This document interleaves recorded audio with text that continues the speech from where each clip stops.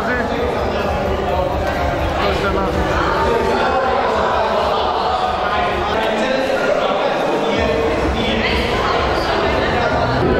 На Ритамот на градот на матурската прослава вечерва во гранд премиер на медицинското училиште од нашиот град. Разговараме со една од матуранките оваа вечер, Димитра Десаналска. Добро дојде во Ритамот на градот и честита матура.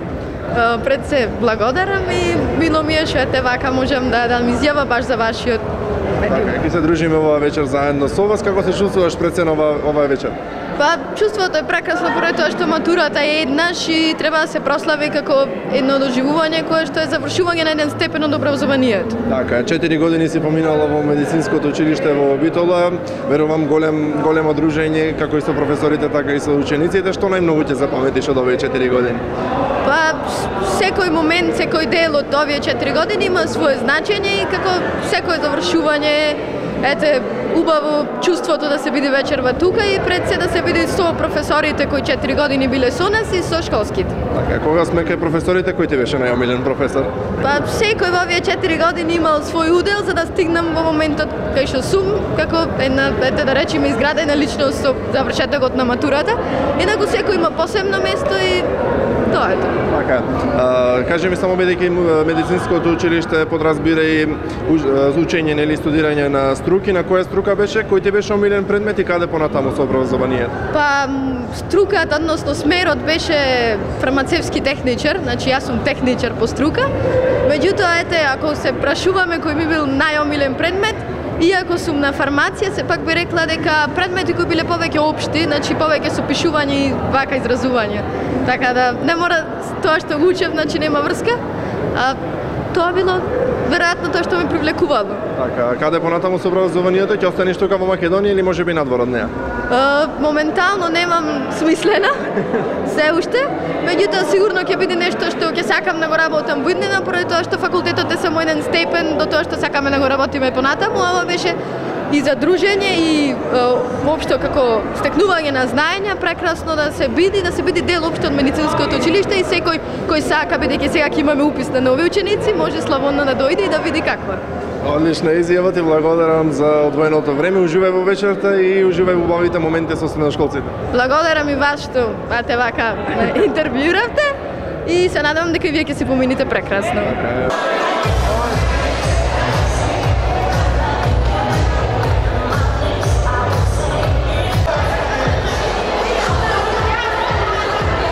Колку сте задоволни од оваа генерација и што од што се двојат од останатите оваа генерација? Па, како и секоја генерација, сите се прекрасни, еве како што можете да видите и ова вечер, сите е, прекрасно се забавуваат. е, е, помина е 4 години, секогаш ние сме вака возбудени кога ги испраќаме, затоа што во текот на тие 4 години се зближуваме со нив, ги знаеме нивните проблеми, секој ден го делиме со нив.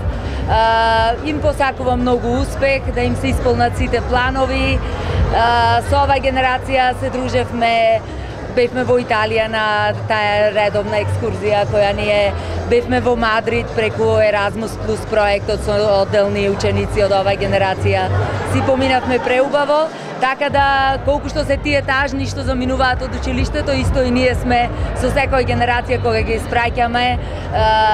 така, сме тажни, им посакуваме успех и мислиме дека вложивме се за да бидат подобри луѓе, за да го научат она што им го предаваме не само од предметот, туку и е, да бидат добри личности и мислам дека успеавме во тоа. Така ви благодариме, ова атмосфера вечерва покажува дека успеавте да направите на вистина атмосферски, ако не повеќе добар добар кадар од ова што го извадивте од медицинското училиште, продолжете и понатаму уште многу генерации. Секако, секако дека ќе продолжиме, очекуваме нова генерација до година и така тука сме за нив. Така, Кике, дали може да те вклучам на кратко да им посакаш нешто на оваа генерација на матурантите? А, би им посакала многу успех, здравје пред се и да бидат најдобрата верзија од себе. Така, ви благодарам и на двете, уживајте во вечерта.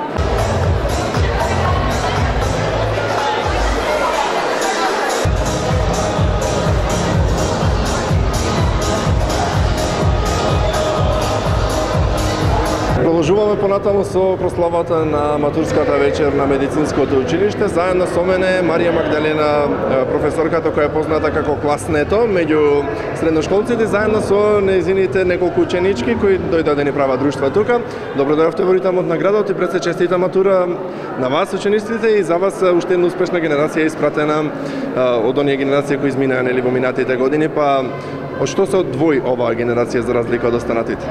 Оваа генерација можам да кажам дека се двои по будноста и по свесноста. Вадиме една зрела генерација, како никогаш предходно, и веќе жалиме за истите што нема да бидат дел од нашето училиште повеќе. Така, што би им посакале те завојнина, бидејќи ќе продолжат образованието кој во Македонија, кој надвор од неа, но што би им посакале, ете како некој совет може би од вас? Им посакувам да се градат како индивидуи, секогаш им го кажувам истото да бидат најдобри во она што ќе одлучат да го прават во животот, да бидат бестрашни во секој нов предизвик и да бидат горди што биле дел од нашето училиште. И да го следите примерот на класното, бидејќи онака добро таа го долови, така е да како си поминувавте ете во овие 4 години, заедно со класното и за не не име класна, ама но, но, професорка тој... последната година, да. Так. Беше како мајка. Дефинитивно мајка, ништо друго. така што се случуваше во 4 години ете во медицинско, како си поминав? Лудвавме дефинитивно дока што оди. Мал се учевме, ама се трпеше, што знам, си метевме заедно, што е најважно, со класнето. И така. И ја будевме, ја будевме свеста и станувавме добри професионалци во она што следува на како наредна етапа во животот, да. Така, одлично четири. Многу ми е криво што завршувам, ама тоа е. Така е, нови спомени остануваат за сел живот, никош нема да бидат завршени, да знаеш, ти кажувам од искуство, само ме интересира да ми кажеш кој ти беше омилен професор класнето. и класната, и класната моја морам, морам за неа да кажам, мајка ми беше дефинитивно мајка. Како се вика да ја поздравим? Ема Ќука, поздрав најголем за Ема. Најголем. Најголем. Да те вклучиме малку и тебе, како се викаш пред се? Христина. Така, ко 4 години нели за тебе останаа позади тебе од ова образование во медицинското училиште, на што најмногу се сеќаваш? на сите глупости што ги правевме, на се, на се, буквално на се. Така, омилен предмет, омилен професор? Омилен професор, класнето, класната и Пенелопа. А омилен предмет, не учев многу, не знам. Така е. Да, кој признава пола му се простува.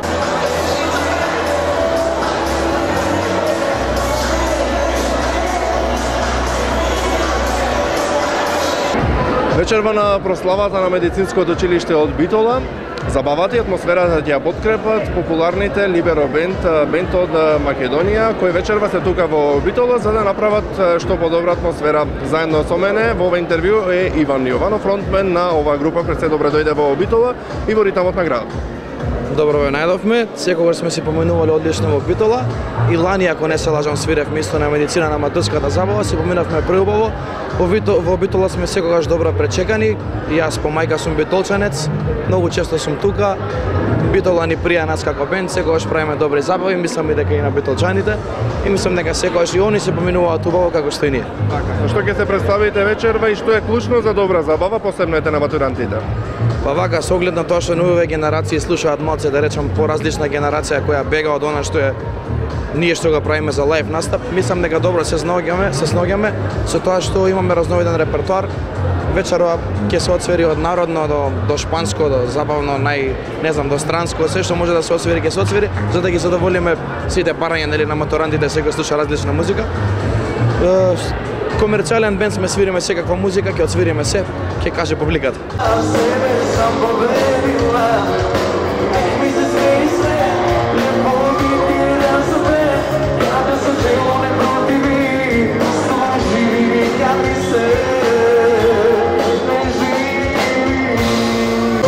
Само да знаш, све може да се припитам, ali je prisil ti divji